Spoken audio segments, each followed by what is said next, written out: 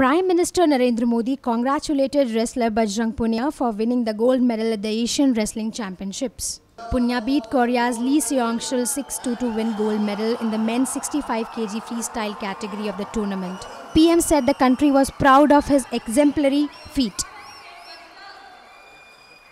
Congratulations to Bajrang Punia for securing the gold in Asian Wrestling Championships. India is very proud of his exemplary accomplishment.